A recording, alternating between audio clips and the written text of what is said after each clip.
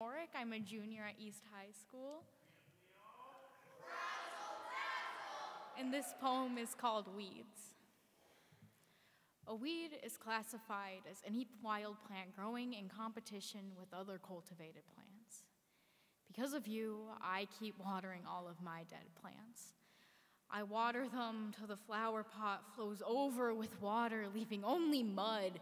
We were planted in the wrong season, but bloomed in the harsh winter.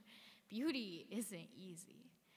And I know it's Mother Nature making your roots not want to go any deeper when the soil is solid rock and all land loses its fertility when you plant on it year after year, expecting it to yield the same results. It loses its worth, and I lost mine.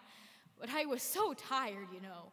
I forgot I had the plants on my windowsill, so I would keep those curtains shut. I forgot we needed natural light, and that is my fault.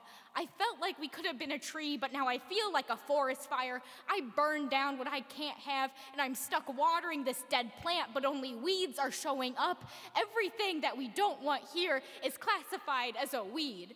And how can I blame you for not wanting me here? You don't want me to take the nutrients away from something more important when farmers grow crops and not roses because flowers don't make the profit. But when I see all these flower stands on the street, all I can think about is how someone had to deroot a flower and cut the stem and kill something just to prove their love to somebody else.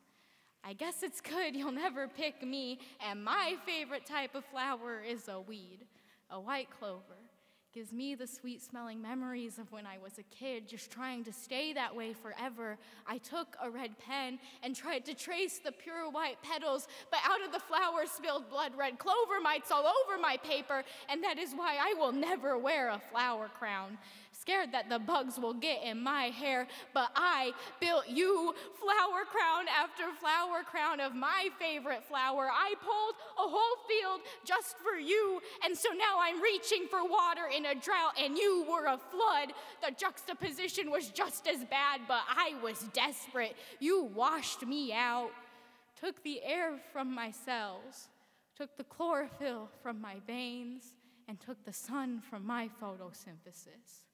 But I guess that's my fault because no one ever waters the weeds like me.